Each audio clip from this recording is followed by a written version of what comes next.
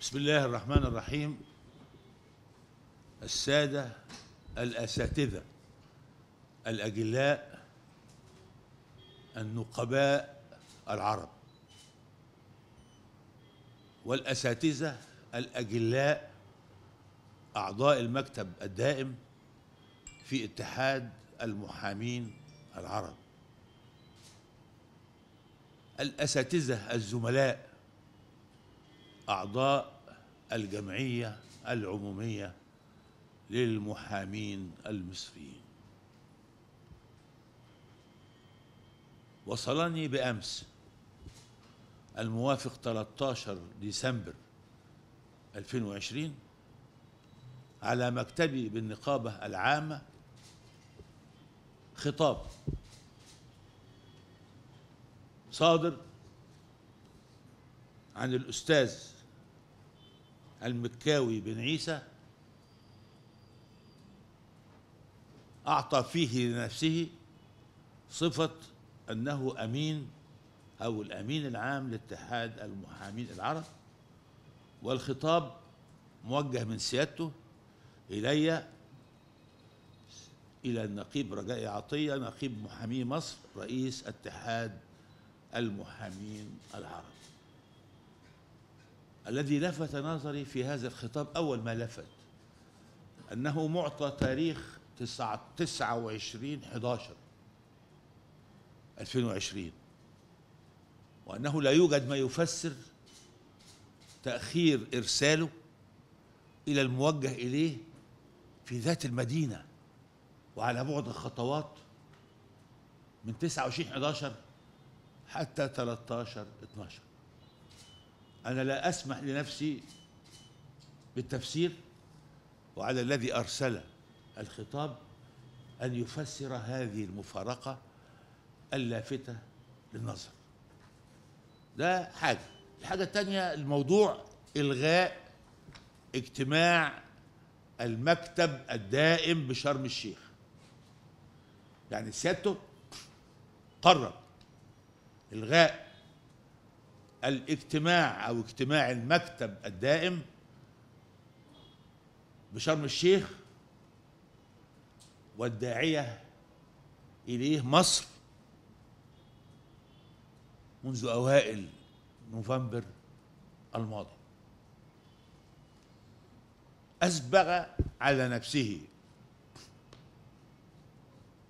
أنه يتحدث بصفته قال بصفته الأمين العام لاتحاد المحامين العرب ونخلي بالنا من التاريخ المنتخب بتاريخ 15 11 2020 ولا ننسى هذا التاريخ وأن أحد مقدمات وأهم أسباب اعتراضنا على هذا على هذا الاجتماع الذي تم على البعد أنه بلا دعوة من الأمين العام لاتحاد المحامين العرب الذي كان قائما بوظيفته قبل حتى قبل يوم أو حتى يوم 15 11 وأن الذي دعا إلى هذا الاجتماع السيد الأستاذ النقيب نقيب الأردن والذي انتهت ولايته من شهور وموجود لتسيير الأعمال.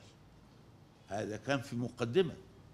حججنا للاعتراض على هذا الاجتماع على البعد. وقلنا بالإضافة إليه إلى هذه الأسباب أن هذا الاجتماع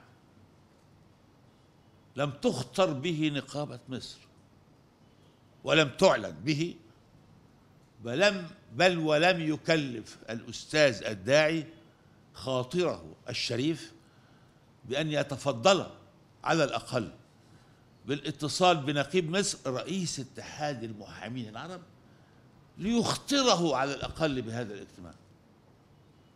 نخش بقى على الأسباب التي طرحها سيادته قال بالإشارة إلى الدعوة الموجهة من الأستاذ الأمين العام السابق.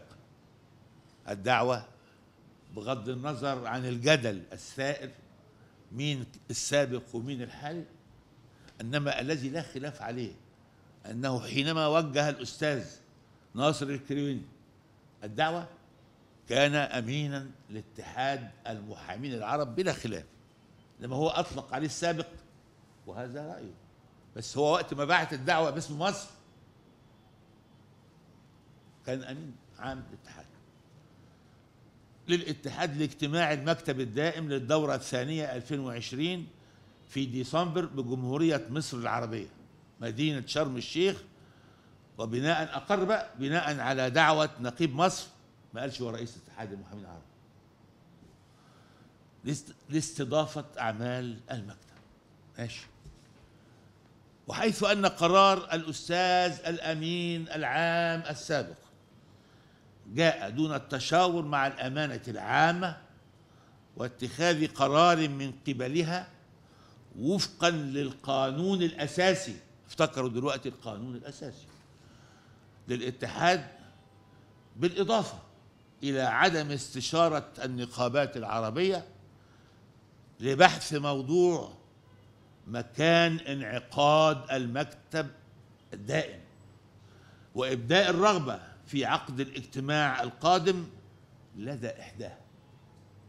عشان برضو نقف عند النقاط التي أثارها سيادته بعد ما قال أن القانون الأساسي يلزم بأن تكون الدعوة من الأمين العام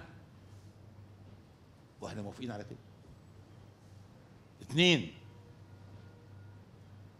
إنه عدم استشارات النقابات الفرعية أنا موافق على كده.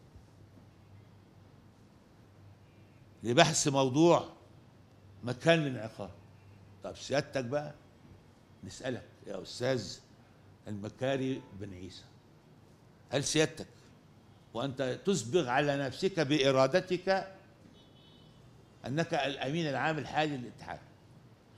آه، هل سيادتك نفذت قانون الاتحاد الأساسي؟ قانون أساسي الاتحاد اللي بيقولوا الأحداث إن حضرتك قبلت آه، أن تعين أمينا عاما بدعوة موجهة من نقيب الأردن الذي انتهت ولايته ولم تكن صادرة عن الأمين العام للاتحاد في ذلك التاريخ اللي هو أنت قلت عليه 15 11 فكيف؟ كيف هذه الازدواجية؟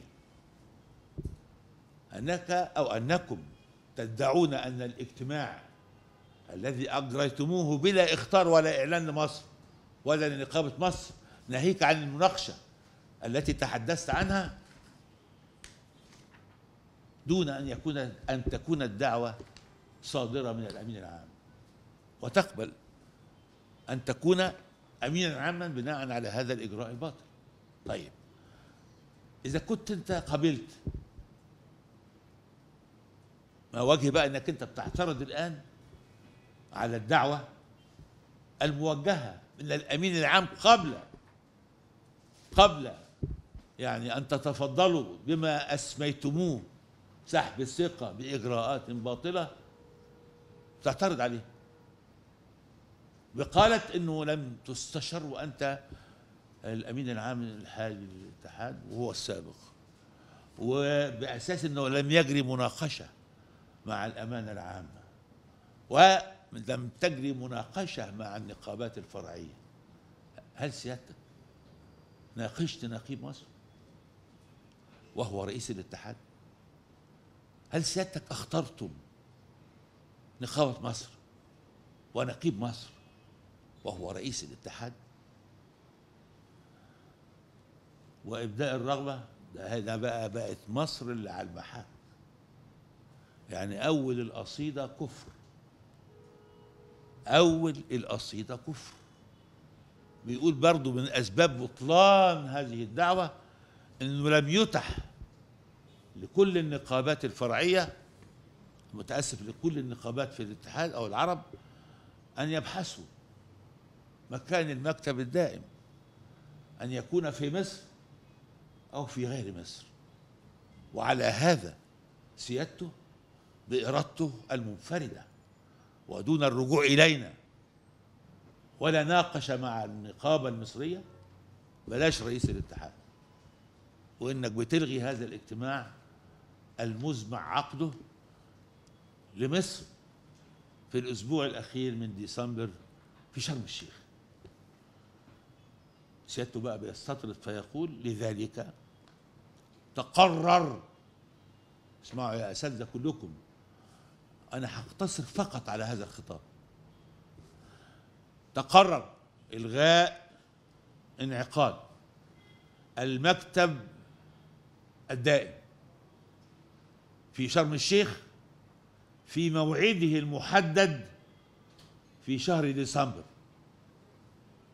واتخاذ قرار من الأمانة العامة بعد التشاور مع النقابات العربية. طبعا مصر لا دي مصر بقت المطية بقى عشان اللي محركك ضحى بمصريته ضحى بمصريته وجعل مصر هي المطية. مع النقابات العربية لغايات تحديد مكان وتاريخ انعقاد المكتب الدائم. يعني شيل مصر بقى شيل مصر وانتوا بقى لسه ومن غير ما شاورتنا ولا ناقشتنا زي ما بتقول أنه واجب انت بتلغي وبتقرر وبتقول إنه هيبقى الإيه اجتماع إحنا هنجتمع ودون أن نشاور نقابة مصر اللي هو ناقبها رئيس الاتحاد نسحب منه أو من مصر. ها؟ المؤتمر الذي تبنت مصر الدعوة إليه من أول شهر نوفمبر الماضي وبقية الكلام واتخاذ قرار من الأمانة العامة نشوف مين مين من النقابات العربية. طب وإحنا مش نقابة عربية؟ طب بلاش إنه اللي محرضك وزقك آه، بلاش إن هو يعني باع مصريته. هو إحنا مش نقابه مصر نقابه عربيه هل سيادتك شاورتنا فيما تفعل؟ هل أعطيتنا الحق حق مصر؟ التي قام الاتحاد على أكتافها. بانك أنت تسمعها على الأقل. مش عيب برضو كده؟ وهل السادة الأساتذة الأجلاء النقباء العرب جميعا هل تقبلون بهذا التصرف؟ السادة الأساتذة الأجلاء أعضاء المكتب الدائم للمحامين العرب. هل تقبلون هذا التصرف؟ وهل يمكن أن يؤدي هذا إلى جمع الصف؟ أم أنه يصدر بلا رعاية على الإطلاق؟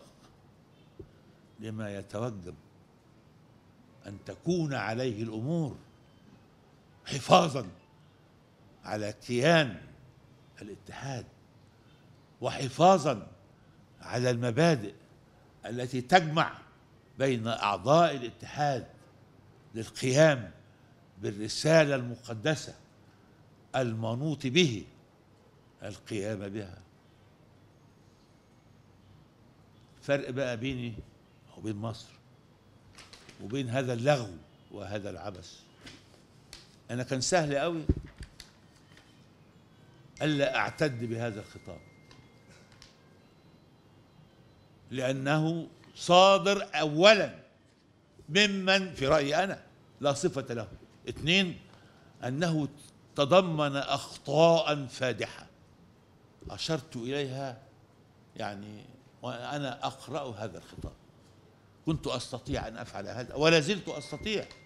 ألا ألتفت بتاتا إلى هذا وأنادي وأقول أن المؤتمر سوف يعقد في شرم الشيخ في ميعاده لأن هذه الدعوة ممن لا يملك ولا صفة له وأنها باطلة. وتحمل تاريخ 29 11 وتسلم إلينا 13 12 هذا سهل جدا. لو أنا هاجاري هذه الرغبات والتصرفات الغير مسؤولة التي تدمر اتحاد المحامين العرب. هل هناك من يسعى لتدمير الاتحاد على جثتي وليذهب الاتحاد إلى الطوفان؟ هل هناك من يدبر لنقل مقر الاتحاد من مصر بلده إلى دولة أخرى؟ هل هناك من يدبر ضد مصر؟ وينتزع نفسه من مصريته لتحجيم دورها انتصارا لأغراضه وما يريد. لن أجيب إنما هترك لحضراتكم جميعا وأبلغ الجمعية العمومية للمحامين المصريين كيما يكونوا جميعا على بينة مما يجري. ولأني طالب وحدة. ومؤمن بقول الله سبحانه وتعالى واعتصموا بحبل الله جميعا ولا تفرقوا. فأنا معتصم بحبل الله ولن أكون سببا في الفرقة. وعلى هذا أنني ليس قبولا للدعوة الباطلة وإنما رعاية للمصلحة العامة للاتحاد وللأمة العربية جميعا. التي نحن جميعا جزء منها ألا نجتمع في هذا الجو المشحون الذي يمكن أن يؤدي إلى مزيد وتكريس للفرقة التي تبثها هذه التصرفات الغير مسؤولة. أعلن لكم وقلبي ينبض دما أننا قد أجلنا اجتماع شرم الشيخ كيما أتيح لكم. أنتم الأساتذة الأجلاء النقباء العرب. وأتيح لكم أنتم الأساتذة الأجلاء أعضاء المكتب الدائم. أن ترأبوا هذا الصدع الذي يهدد بنسف وتدمير اتحاد المحامين العرب. والله سبحانه وتعالى من وراء القصد. والسلام عليكم ورحمة الله وبركاته.